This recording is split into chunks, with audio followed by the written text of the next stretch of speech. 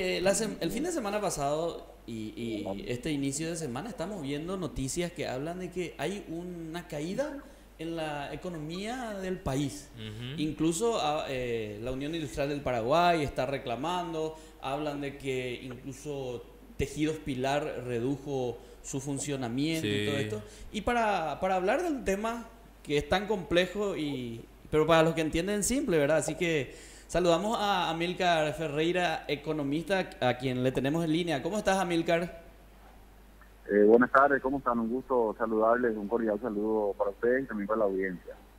Bueno, Amilcar, ¿qué es esto eh, y el lenguaje común, por favor? ¿Qué es lo que está pasando en Paraguay con el tema de, de la economía? ¿Estamos tan mal como se está diciendo últimamente? ¿Y qué es lo que está pasando desde la asunción de este nuevo gobierno y qué proyección podríamos, podríamos tener? Si podrías hacernos así, por decirlo así, un, un resumen y luego vamos ahondando el tema.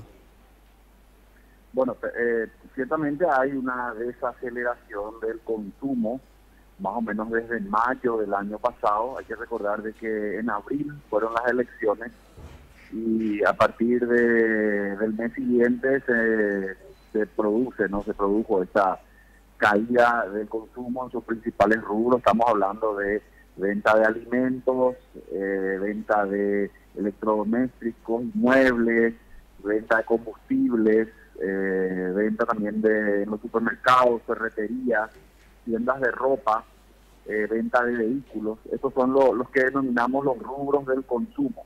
Esto lo mide mensualmente el Banco Central y publica las estadísticas y bueno, ha venido teniendo una caída hasta finales del año pasado y, ahí estamos, ¿no?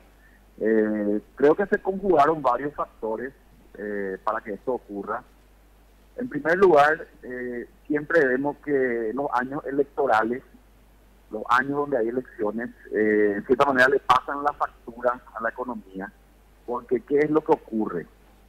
las elecciones son en abril, y si el candidato ganador no es de la misma línea de la fuerza política que está en el gobierno, se da como una especie de vacío de poder porque la, la asunción del nuevo gobierno ocurre recién en agosto. Entre abril y agosto hay como un vacío donde los que los que van a salir ya prácticamente no ejecutan, se da una caída de la ejecución presupuestaria. No ejecutan porque ya están de salida y porque también el equipo que va a entrar ya le pide que, no usen los recursos para poder eh, dejar, digamos, la, máxima disponibilidad posible para el equipo que va a entrar el 15 de agosto. Y por otro lado, los que, los que van a entrar todavía no están al mando, ¿verdad? Entonces, se da una caída de la ejecución presupuestaria, de por ejemplo, la construcción de rutas, eh, del rubro de inversiones principalmente, del presupuesto general esto al final, de alguna manera, se, traslada a la economía, ¿no? Esto también genera menor, lo que en lenguaje sencillo se suele decir circulante, menor circulante. Amilcar, dos, lado, sí. dos preguntitas sobre esto que acabas de decir. Uno, ¿en qué porcentaje hubo la desaceleración? Y dos, eh, ¿podríamos decir que es normal entonces esta crisis económica, si podríamos llamarlo así, por el hecho de cambio de gobierno y el largo periodo de transición que se tiene en el país? Mira, la caída fue más o menos un 20% promedio, la caída, esto significa la caída de ventas. ¿Cómo mide el Banco Central eh, este, estas estadísticas de consumo? Le pide a tributación la declaración de IVA de, todas las empresas y personas también, ¿verdad? Y consolida esto por sector, todas las empresas que, por ejemplo, se dedican a la venta de combustible, todas las empresas que están en el sector hotelero y así sucesivamente y de acuerdo al IVA declarado cada mes, se supone que ese IVA refleja ¿no? el nivel de facturación, eh, consolida toda esta información y ahí publica los datos de, cómo está el consumo por cada sector. Y eso es lo que lo que lo que dio ahora una caída eh, en, el 2018, que se, que se da un septiembre hasta ahora. Decía yo de que si esto es normal o no, bueno, la respuesta es, si vemos años electorales anteriores. Por ejemplo, cuando ganó Horacio Cartes y asumió, vos recordarás, quizá ustedes recordarán que ese primer año hubo también muchas quejas de que se paró todo ciertamente la situación la que recibió las arcas del, Estado era un poco diferente, una situación un poco más difícil con respecto a esta última. Pero de todas maneras, eh, también eh, decimos de que ese primer año de gobierno del presidente Cartes fue prácticamente un año perdido porque se pararon todas las obras públicas, pago a proveedores, hubo atrasos. Entonces eh, ocurrió algo similar, ¿verdad? Entonces, en resumen, lo que podemos decir es que entre varios factores que, si me permiten, le voy a ir describiendo, uno de ellos, para que se produzca esta, esa aceleración, fue el año electoral, 2018. ¿Qué tal, Amilcar? Por otro lado, Néstor Castillo te saluda. Bien, bien, bien, un gusto saludarte. También esto, y por lo que vos estás dando la, la explicación de, que tendría mucho que ver, evidentemente también el, factor gubernamental estatal, su repercusión al interior de la actividad particular, la economía que, que mueve eh, la, industria privada, los servicios del ámbito privado, ¿podría decirse o preverse un lapso de tiempo de de repunte, hablar de, que en el 2019, en algún mes del año, o en definitiva, entre comillas, sería un año perdido hablar de estas previsiones, teniendo en cuenta que incluso el, el, presupuesto que está ejecutando el gobierno nacional a estas alturas fue ya un presupuesto que lo, que lo preparó incluso el gobierno saliente. Sí, mira, yo siempre quiero ser optimista, creo que Paraguay eh, como un logro importante ha venido manteniendo eh, la disciplina del manejo de su, especialmente de los grandes números macros. Y por un lado, eh, creo que una medida acertada frente a este escenario de desaceleración ha sido que la emisión de bonos para financiar el, el presupuesto 2019 se hizo rápido, se hizo ya en enero y eso creo que fue muy importante para ya disponer, hoy ya se dispone de los recursos para financiar en un 100% eh, el, la inversión en infraestructura. Entonces ya no hay ninguna excusa para que todas las obras públicas que están proyectadas se ejecuten al 100% desde el inicio mismo del año. Creo que en cierta manera eso lo vamos a ver una ejecución con fuerza de parte del Ministerio de las Públicas principalmente, eh, ya desde este primer tramo del año. Eso es una medida eh, contracíclica que ayuda a, en cierta manera, equilibrar esa caída de las ventas eh, del sector privado. Y algo va a ayudar. la inversión pública está en el orden de los 800 millones de dólares. Esto es más o menos dos puntos del Producto Interno Bruto. Hay que recordar que Paraguay crece al 4% anual. Esa es la tasa media a la cual venimos creciendo y bueno, del lado de la inversión pública, tenemos esta inversión de, como te dije, alrededor de 800 millones de dólares, que sobre un PIB de 40 mil millones, estamos hablando de números redondos, más o menos un 2%. O sea, ayuda a un crecimiento, o tiene el potencial de ayudar a un crecimiento de, digamos, 2%. A ese, crecimiento, la inversión. ese crecimiento anual de 4 puntos, ¿se puede ver afectado este año entonces? Yo creo que sí, yo creo que sí. Eh, ahora próximamente, seguramente en este mes de marzo, vamos a ver eh, publicada la revisión de la proyección de crecimiento por parte del Banco Central y también consultoras que hacen seguimiento de las variables económicas.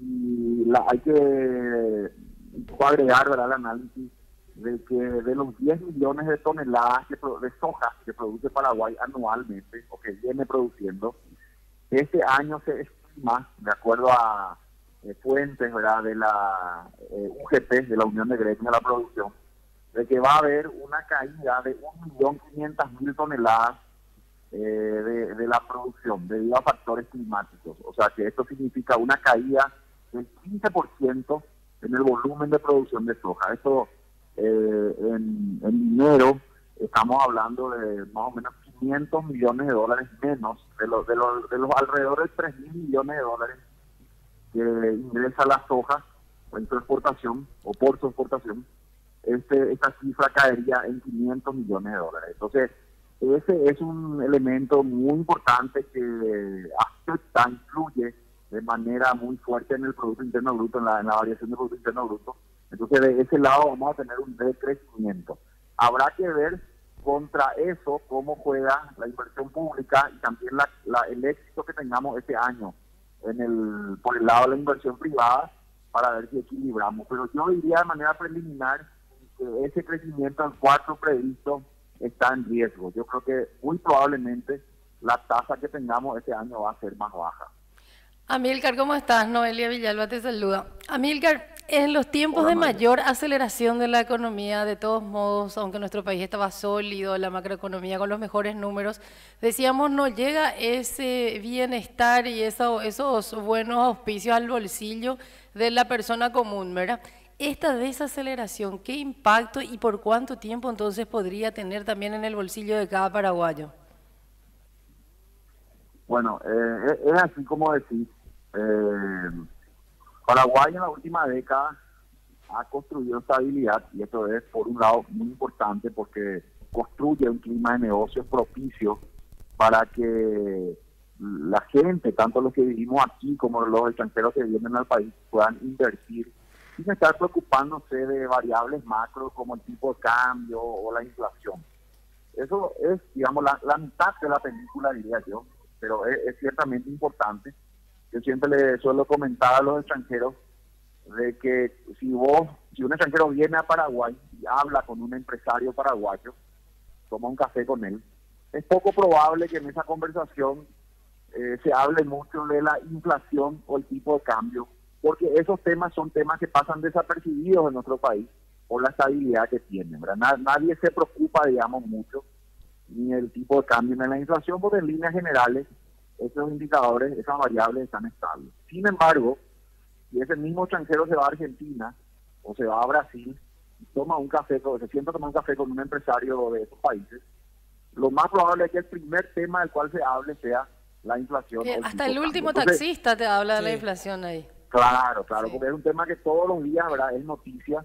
Los niveles de inflación en Argentina, ¿verdad? en el orden del entre 30 y 40% anual y con un tipo de cambio también muy inestable. Y bueno, Brasil también en cierta manera, eh, la, el real se ha devaluado de manera importante el año pasado y están también con problemas económicos muy importantes, un déficit fiscal del 8% del PIB, en el caso de Argentina 5% del PIB y como sabemos Paraguay 1,5% del PIB, ¿verdad? Entonces, por un lado te diría que tenemos un aspecto positivo que es la estabilidad, pero dicho eso, eso es lo que contribuye, genera un ambiente de estabilidad. Pero dicho eso, tenemos un problema micro, ¿verdad? Que es la baja productividad de las personas, eso tiene que ver a su vez un bajo nivel educativo, digamos que eh, una, capacidad emprendedora eh, muy todavía básica, en, palabras simples, como a mí me gusta siempre expresarme, los paraguayos, digamos, somos buenos para abrir, no sé, una playa de autos, eh, de repente una empresa que hace lomitos, ¿verdad? La lomicería. Un lavadero. Tipo de microempresa, ¿verdad? Pero, pero todavía nos falta, tenemos menos capacidad, digamos, para, por ejemplo, abrir una empresa que se dedique a exportación de productos. Por e, ese hecho de, nuestra baja productividad, que tiene que ver, como dice, con el bajo nivel educativo promedio, es algo que eh, todavía nos impide eh, acceder a un nivel de ingresos más alto.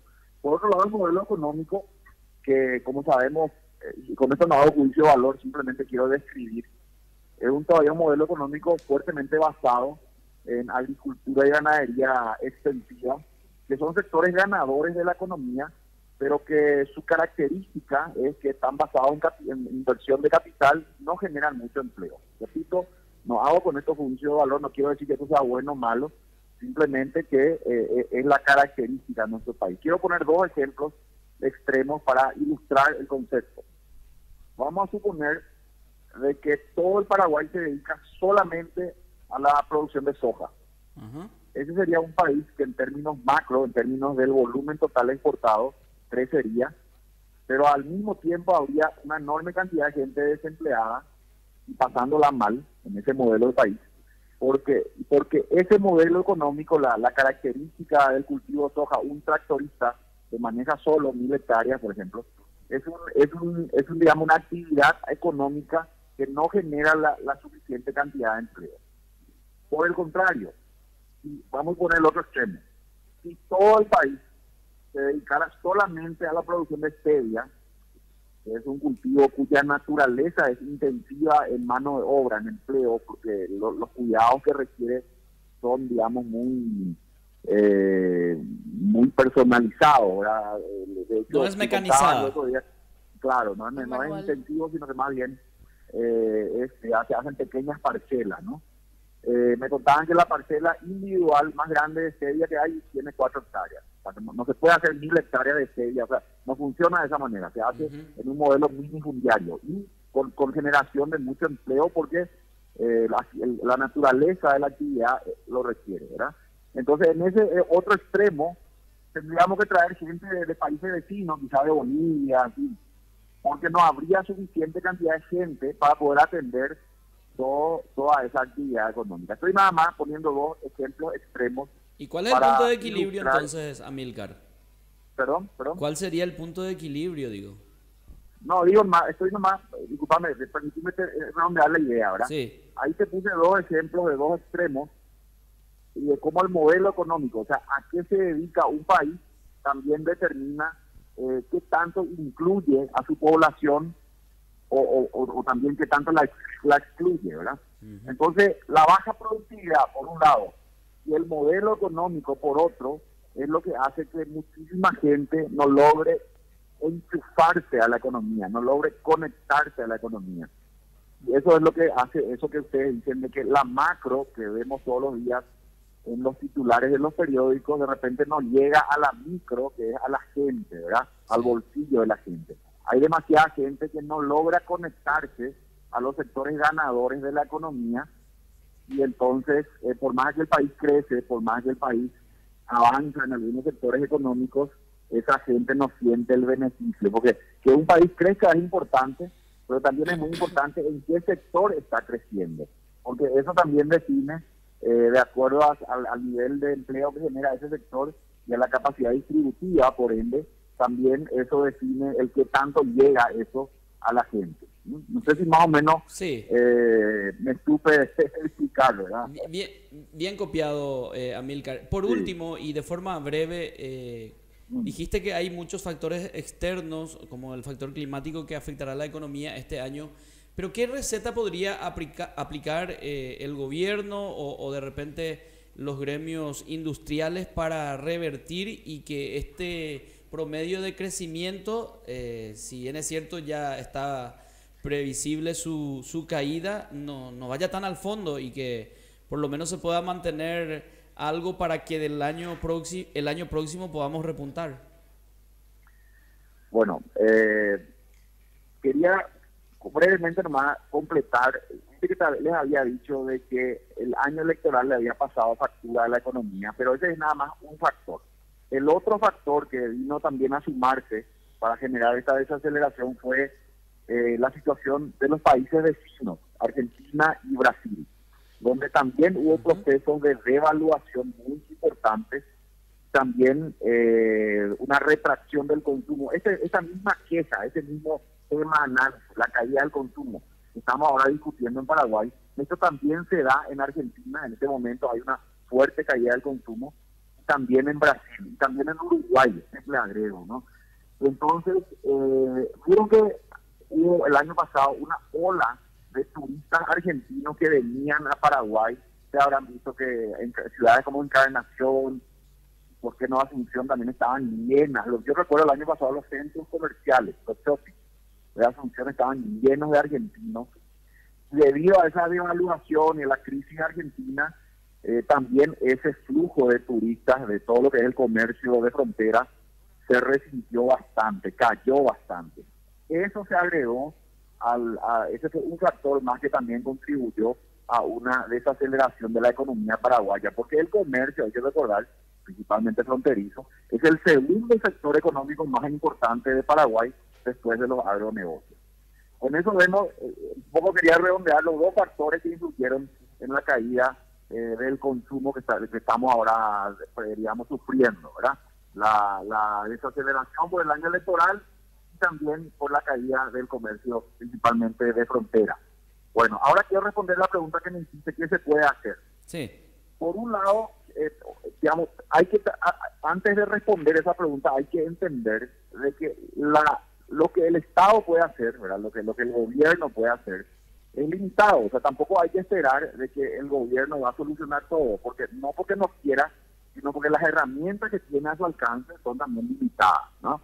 Básicamente en un país el, Estado lo que, lo que se encarga es de crear las condiciones propicias para que uno pueda hacer negocio de manera fácil, pero al final el que genera riqueza crecimiento es el sector privado. Bueno, entonces el Estado lo que puede hacer es ejecutar lo más que pueda su presupuesto, yo diría respetando siempre los límites establecidos en la ley de responsabilidad fiscal, abrir, digamos, la canilla del gasto y la inversión conforme a lo que está aprobado en el presupuesto público 2019.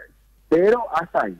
La, ¿Qué tan efectivo puede ser esto? Y bueno, más o menos del 4% que vamos a crecer, yo creo que la mitad de eso, un 2%, está en manos del Estado el poder gestionarlo, el poder, digamos, impulsar la inversión, impulsar el gasto público de tal manera a con eso por lo menos defender ese 2% de crecimiento.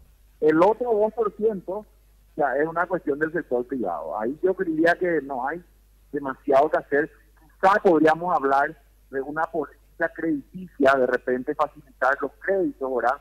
Las tasas de interés y también la concesión a través de la banca pública, Banco Fomento, para de alguna manera, ¿verdad? Eso ya no es un gasto, sino que es, como, como lo dice, un crédito, la política crediticia, quizá eh, estimular un poco al sector privado para que el sector privado pueda invertir.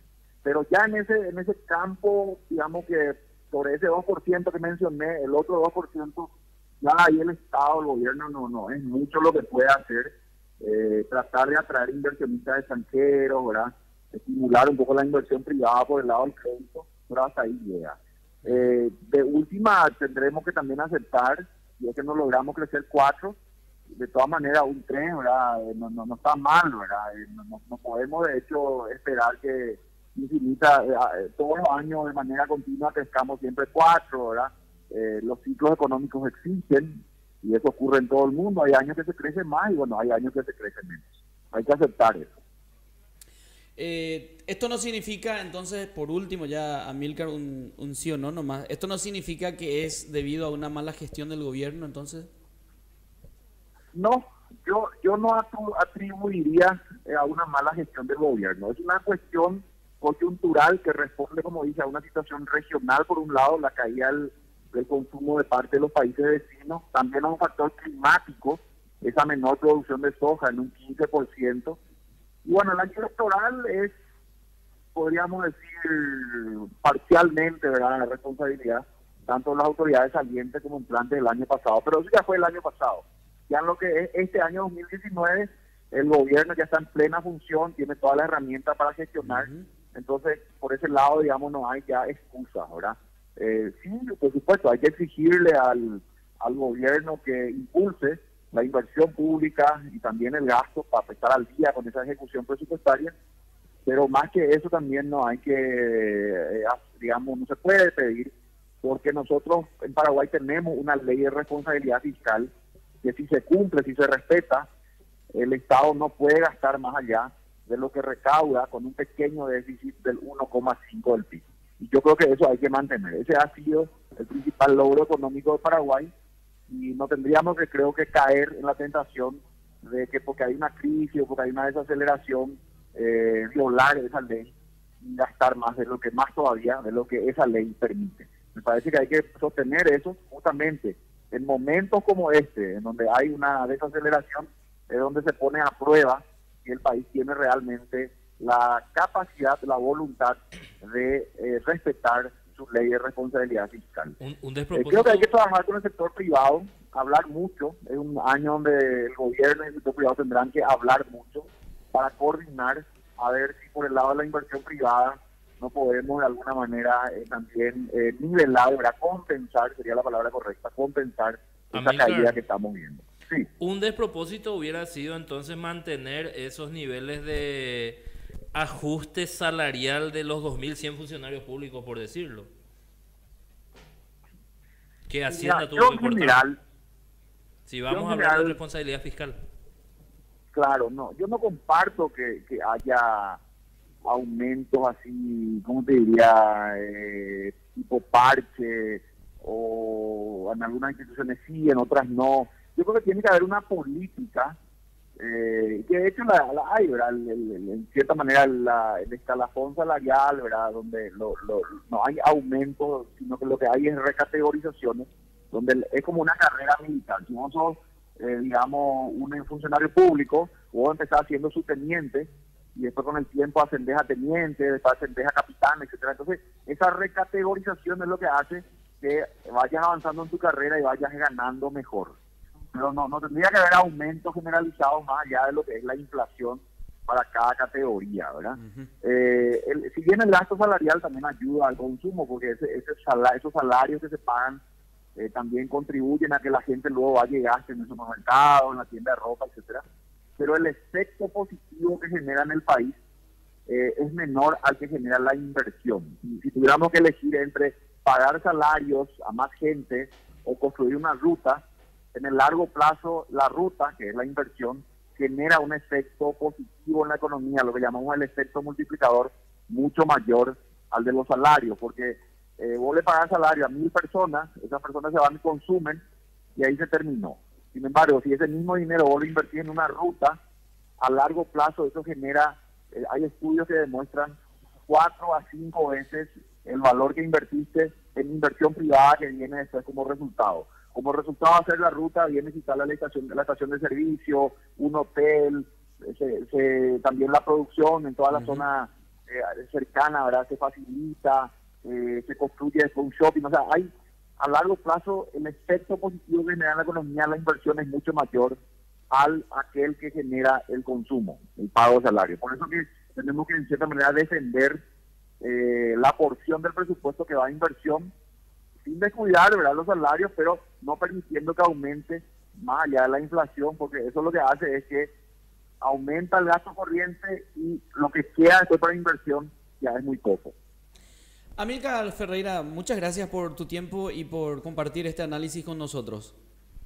Un gusto, siempre un gran abrazo para ustedes.